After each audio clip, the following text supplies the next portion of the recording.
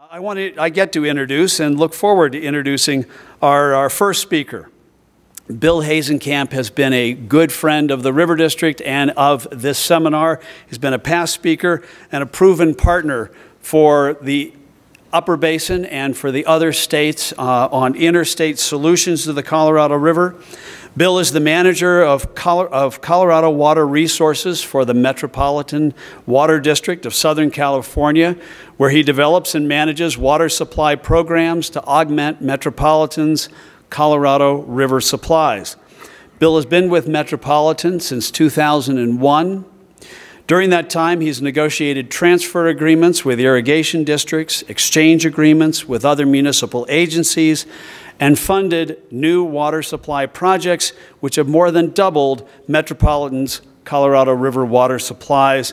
Please join me in welcoming Bill Hasencamp from California, who has raced in last night, is racing back right after his presentation in order to join a double century bicycle race in California. Bill, thanks for coming.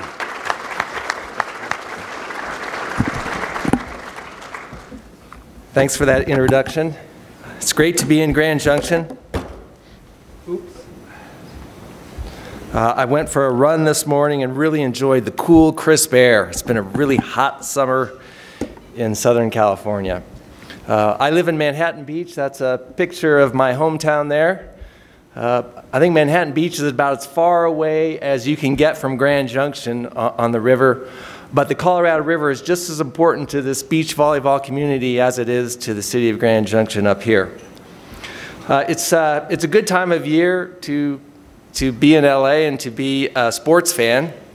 Uh, we're getting close to the end of the baseball season, and the Dodgers, maybe this is their year. We've been waiting a long time, so we're excited about the possibility of the Dodgers going all the way. And I noticed on Monday that the Broncos beat the LA Chargers and I'm still trying to figure out how I feel about, about it. The LA Chargers, I grew up not liking the Chargers. In fact, I grew up rooting against the Chargers, and now they're in my backyard just a few miles from where I live. And I'm, I'm kind of conflicted about how I'm supposed to feel. I think it would be like Eric Kuhn when he retires going to work for IID. I think that's, that's kind of what the Chargers coming to LA is like. Uh, but it's been, a, it's been a, a, a, big week for my agency. This week we approved uh, the agreements that implement Minute 323, which the International Boundary and Water Commission is poised to sign later this month.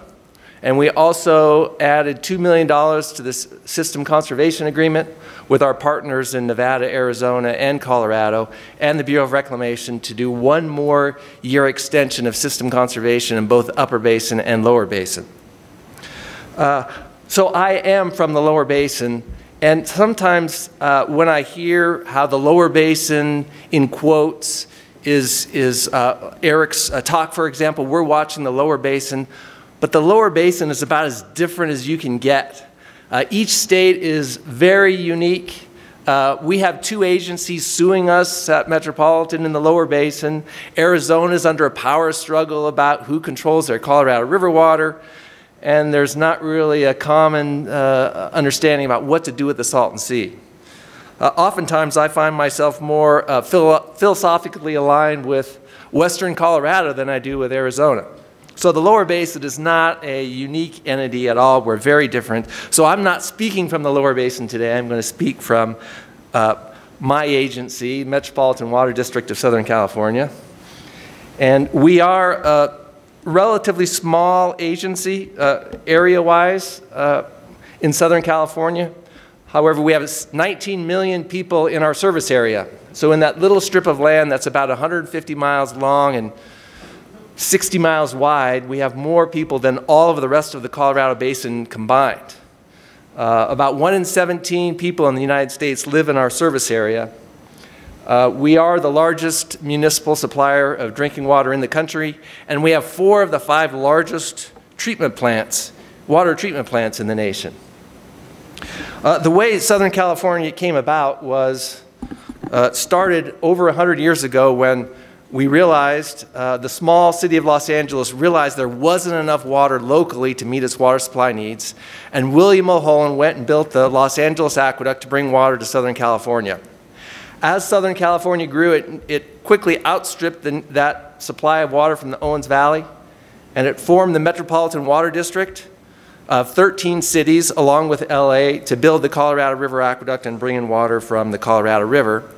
And then finally, as Southern California grew post the World War II, uh, we needed uh, another straw of water, and we went to the Bay Delta in Northern California, and we partnered with Governor Brown, the father of the current Jerry Brown, Pat Brown, to build the State Water Project.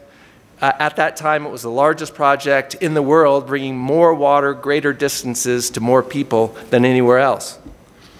Uh, but we realized in the 1990s that even with this amazing infrastructure bringing water in from far away, we still weren't reliable. We still were suffering in droughts and had to ration water. So we refocused our efforts locally and we focused on water conservation, water recycling programs, groundwater, and other types of projects that are drought proof in Southern California. And the Colorado River Aqueduct um, really is uh, is operated based on the conditions in California. It's the state project that's the big driver because it's so variable that the Colorado River supplies go up and down at the whim of the state project. And the state project has, it goes from droughts to floods so quickly. In 2014, we had, 2015, the lowest snowpack ever in the history of California. In fact, when they did the April 1 snow surveys up near Lake Tahoe, not only was there no snow, but it was green because it had been dry for so long. Uh, by far the lowest amount ever. Yet this year, we had the most ever. It was the wettest year ever in Northern California and the most snow ever in the Eastern Sierra. And these photos shown here were about April of uh, this year, uh, places near Mammoth Mountain had over 90 inches of water content of the snow. So eight feet of water up in that snowpack ready to melt. So huge changes in just a few years. And what this does is drive the price of water in California to huge swings. California has a a viable and active water market where water's bought and sold among various agencies. And the average price of water is in the neighborhood of $300 an acre foot, plus or minus. It, varies depending on where you are. But that average is only an average. It is highly variable. During the height of the drought, water was selling for $1,800 an acre foot if you could find it. Small amounts of water were, were for sale at incredible prices. This year, water was available for $18 an acre foot, and there were no buyers. People turned back water at $18 an acre foot. So $100 an acre foot, 100, 100 times uh, swing in water prices, that drives what we do in California. That's nowhere in the Colorado Basin do you see swings like that. And that really drives many, much of our decisions and how we work in California. It would be like the price of gas averages, say, three or four dollars a gallon, but and it varies maybe a dollar.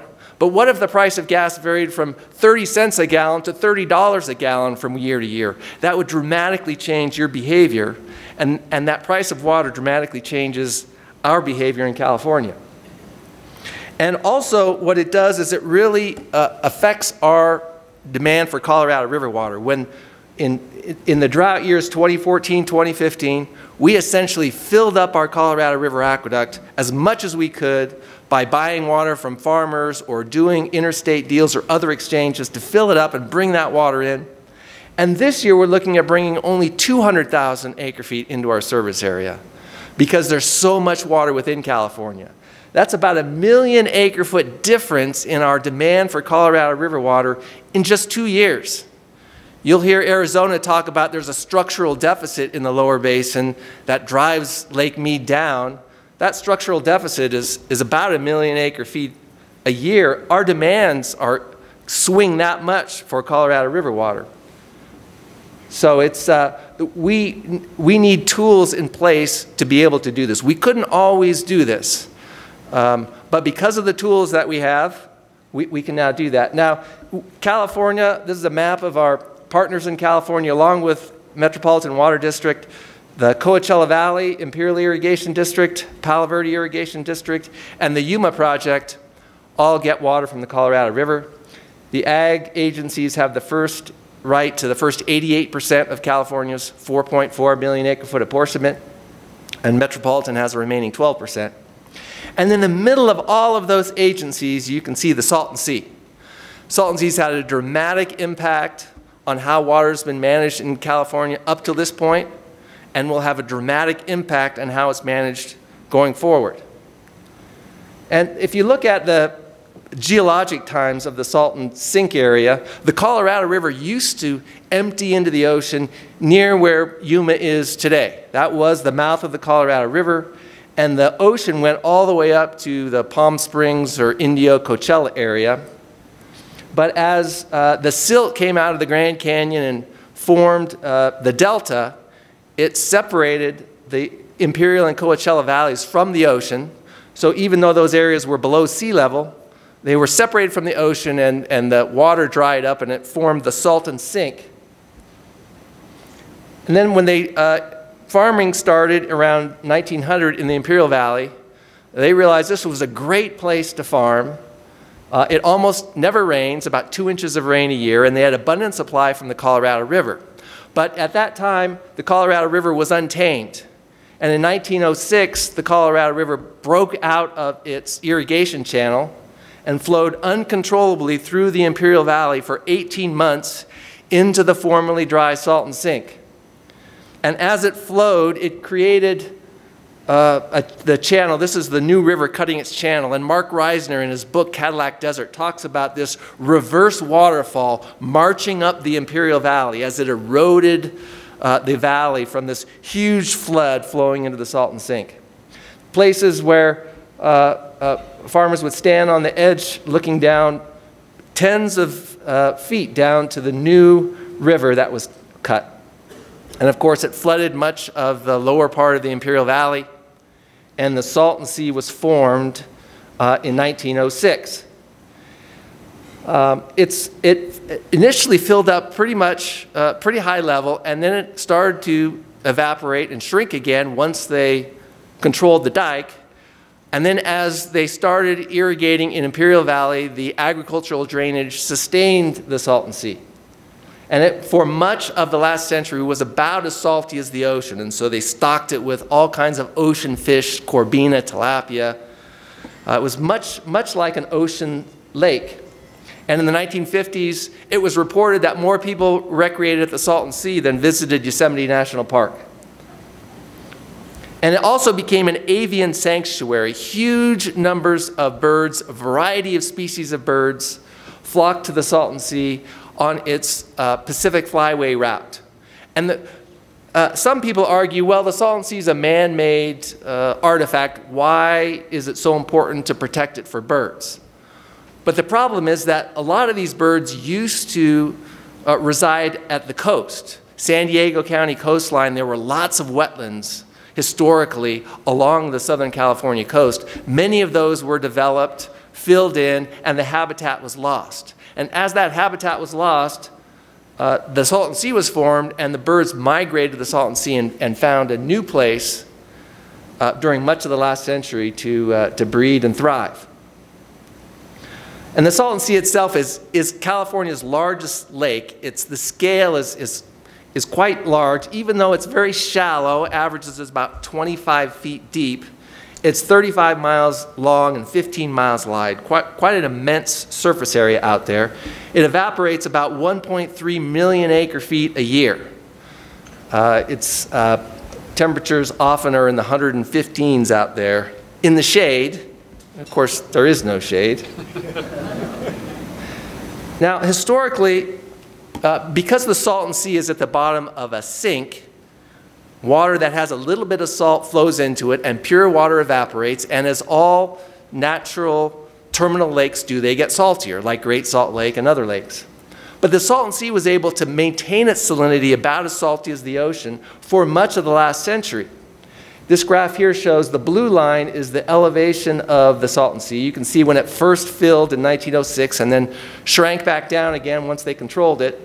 But through much of the last century, it grew because IID was using more and more water. And as IID used increasing amounts of water, the flow into the Salton Sea increased, and that offset the salinity increase. So as more water was, even though more salt was added to the sea, it got bigger, and so the salt stayed more or less even from the 1920s to uh, just a few years ago, just about as salty as the ocean. But in recent years, uh, the sea has been shrinking, and the salt is starting to go up, and it soon will reach a turning point where the sea will shrink rapidly starting next year, and the salt will skyrocket. And most of the fish are already gone there are some tilapia hanging on, but it's questionable about whether they're reproducing, and it will soon turn hypersaline, and the birds that rely on the fish uh, will no longer uh, be able to, to, uh, to have the same habitat there. So there's a lot of concern about uh, the future of the Salton Sea. The other big concern in that area has to do with dust. And Owens Lake is, was dried by the city of Los Angeles in the Owens Valley about 100 years ago. And it's become a major problem for the city because of the tremendous amount of dust that blows off the lake. Even though it's not a very populated area, uh, the Clean Air Act is routinely violated, and the city of LA has to clean up Owens Lake and has spent a billion dollars so far, and still the, still the lake violates the Clean Air Act. So there's concern about when the Salton Sea shrinks, there will be a shoreline that eventually will be about four miles long and wide in places. And that shoreline uh, will cause additional dust, and it's a big concern for the residents down there about the future, their future, given the uncertainty of the Salton Sea. Now, uh, California has, uh, through the Boulder Canyon Project Act and the Compact and various agreements, California has a basic apportionment of 4.4 million acre feet. And when I started back at Metropolitan were the good days in that we were getting extra water every year because the other states weren't using all of their water. We received an extra 700,000 acre feet above our basic apportionment for about 50 years two generations we had this extra supply that we knew someday we were going to have to give up. We didn't know when that someday was, but we knew someday we were going to have to give it up. And as Arizona and Nevada started to finally use all of their water by the end of the 1990s, Calif the, other, the six states were pointing at us and said, okay, it's time for you to develop a plan to reduce your use. So we developed a plan to uh, and, and, this is a strange story of how the Salton Sea actually saved California. That, uh, it, th there are times when the Salton Sea saves California. So we, we developed a plan to reduce our use, uh, but we needed time to do that. We needed 16 years to reduce our use because nothing happens quickly. And so the other states said, okay, California, you'll have 16 years of surplus water available to you. As long as we don't have a big drought on the Colorado River, you'll have 16 years of surplus, provided you increase your ag to urban transfers on a regular schedule with regular benchmarks. If you increase those transfers and take less surplus to fill your aqueduct, we'll let you do that for 16 years. And that was through the year 2016. So we agreed to that. We agreed to that condition. Uh, Arizona had another condition that they, they put on. Arizona said, well, in order for you to get surplus California, we need to forbear our rights. So we're going to put an extra condition. We're going to say that uh, you have to agree to the first million acre feet of shortages on the Colorado River. We don't know when shortages are occurring, but you, uh, because under the current rules, Arizona is the junior priority and is on the hook for shortages. But in this deal, they said because you taking surplus might put us at risk, we want you to take the first million acre feet of shortages. And we also want you to sign this agreement, this water transfer agreement, by December 31st, 2002. So you need to sign all of this transfer agreements and accept a million acre foot shortage um, in order for you to get surplus. So that was before my time, but we agreed to it. It was kind of a tough deal agreeing to a million acre feet of shortages, but we agreed to it. Uh, but this is where bad lawyering comes in from Arizona and where Arizona really regretted their bad lawyering. Because the agreement said if you don't sign that agreement by December 31st, 2002, our whole forbearance agreement expires. And of course, as California was trying to negotiate our transfers, we missed that deadline. And it, it, we didn't sign the agreement until October of the following year. And Arizona said, okay, you don't get any surplus, but you still owe us the million acre feet. And we said, no, that's not what the agreement says. The agreement says everything expires, we're off the hook, and we don't owe you a million acre feet anymore. And Arizona said, no, that's not the intent. You were supposed to pay us the million acre feet. We said, but that's not what the agreement says. So uh, they were kicking themselves for bad lawyering, for not saying that regardless of whether surplus goes forward, you are on the hook for a million acre feet. So we got off the hook because we didn't sign that agreement. And why is it we didn't sign the agreement in time? It was because we couldn't decide responsibility for the Salton Sea. It took us an extra 10 months to figure out a plan for the Salton Sea when the state of California stepped in and said, we will be responsible for restoring the Salton Sea. So because of that delay, it really saved California and changed the landscape of the river completely. Had California been on the hook for a million acre feet of shortages, all of the negotiations in 2007 guidelines would have been different. All the way we managed the rivers would have been different. But thanks to the Salton Sea and some bad lawyer in Arizona, we had a, a different path going forward. Uh, ultimately, though, we, because of the drought did occur, we lost all that surplus anyway. And after 2002, there's been zero surplus, and we had that hard landing.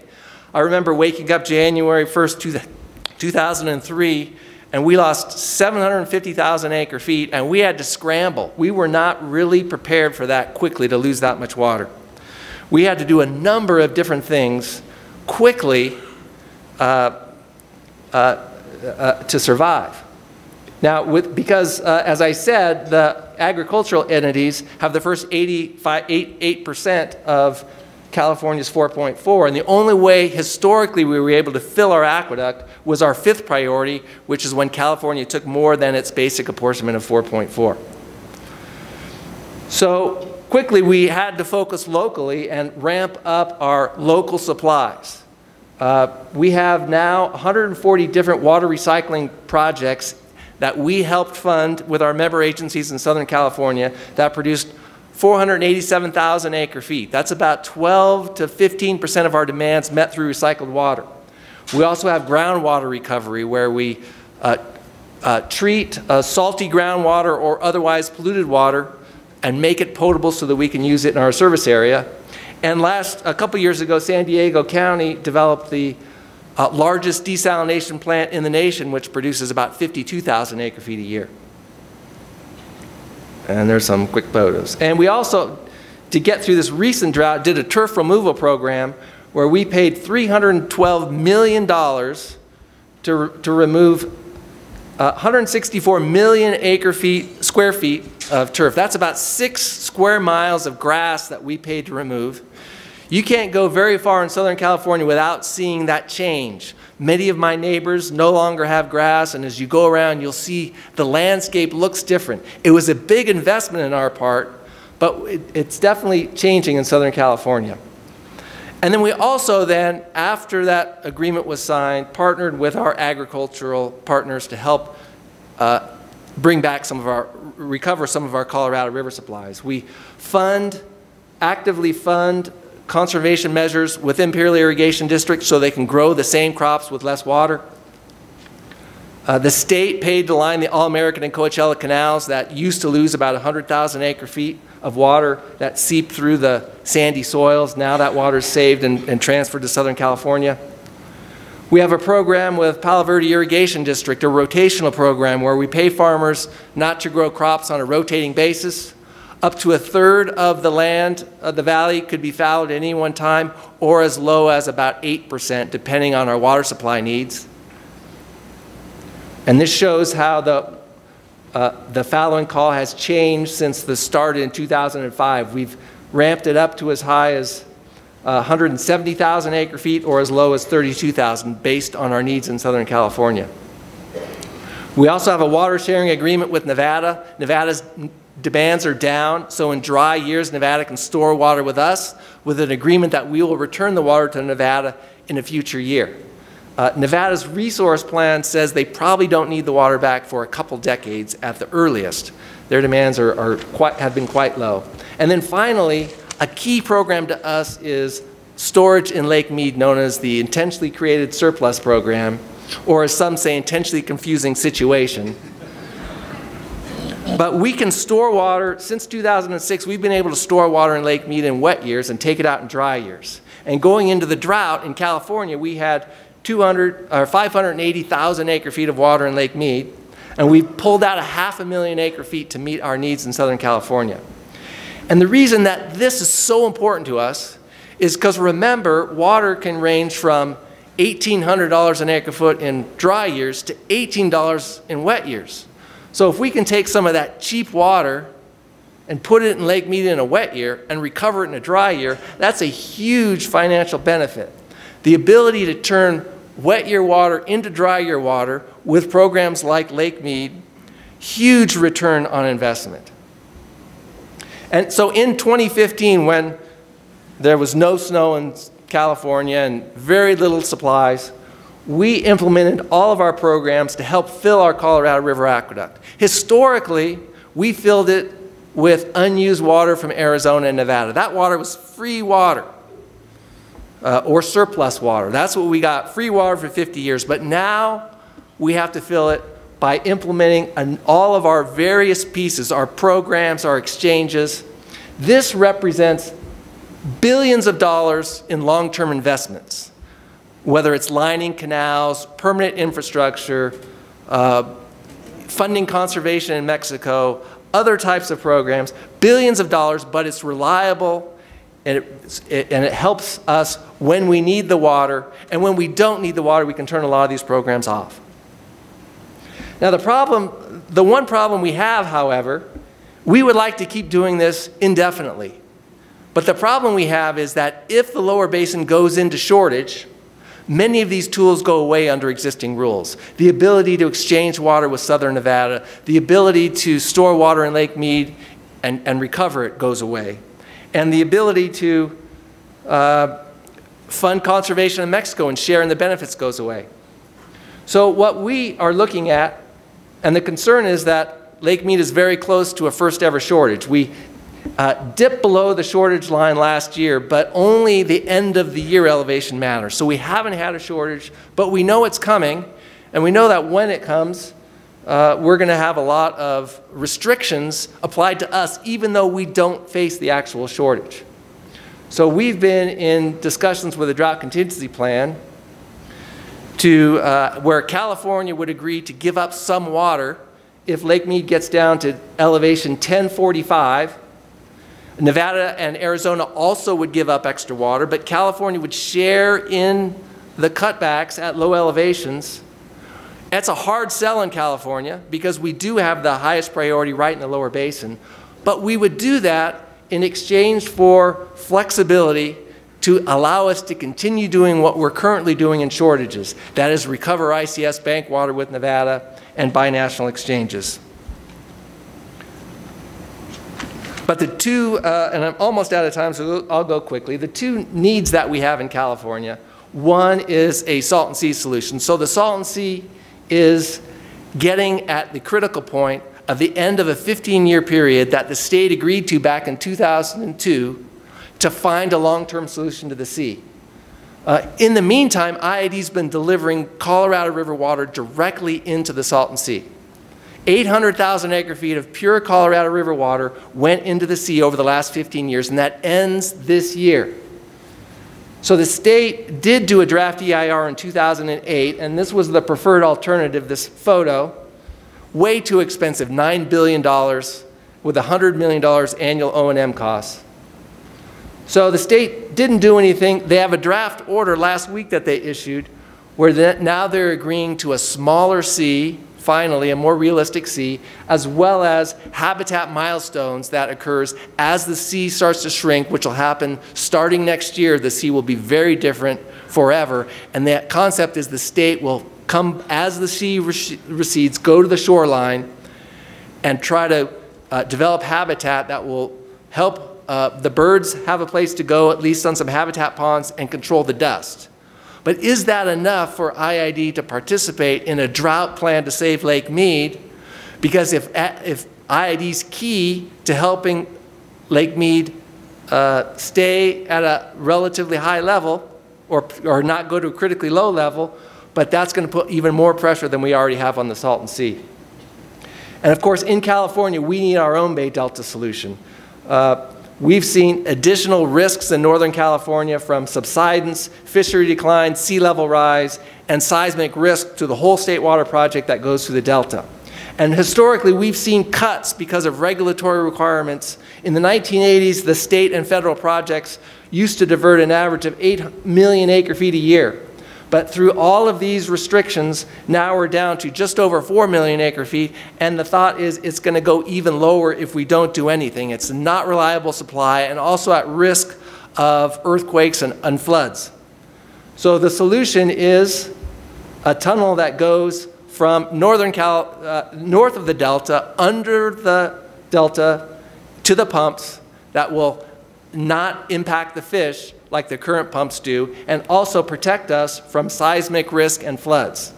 And a tunnel boring machine would be used 150 feet underground, two 40-foot diameter tunnels. These are huge tunnels that would move water from north to the south.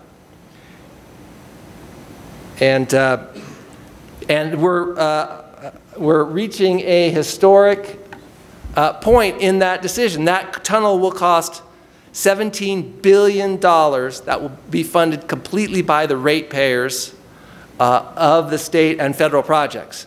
We are having, uh, we've had many workshops on that subject, and it's time for us to finally vote. Uh, at our October board meeting, Metropolitan's board will vote and decide whether our share of that 17 billion is, is kind of questionable because it depends on exactly who's in there, but it could be four or five billion, six billion dollars that we will have to fund in Southern California. We think it's worth it from the staff perspective, but there's a lot of public comment and debate about the, what, what happens. Um, so stay tuned and we'll see what happens in California this year, both on the two tunnels under the Delta, and the Salton Sea. And as Abraham Lincoln said, the best way to create the future, uh, to predict the future, is to create it yourself rather than relying on judges or others to do that. So thank you for your time this morning.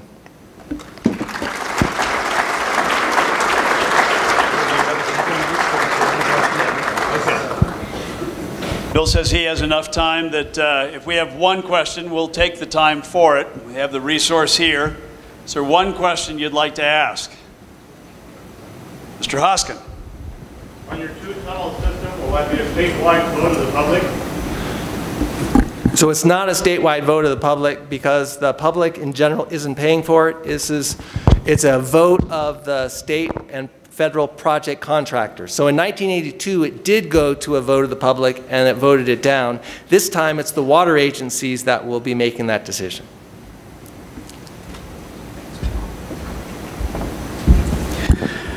Thank you, Bill. I think uh, those of you who have been here before recognize that we always try, we always have, uh, a lower basin perspective offered at this conference. And uh, really appreciate Bill zipping in for, uh, to be that resource this year. Very much appreciated.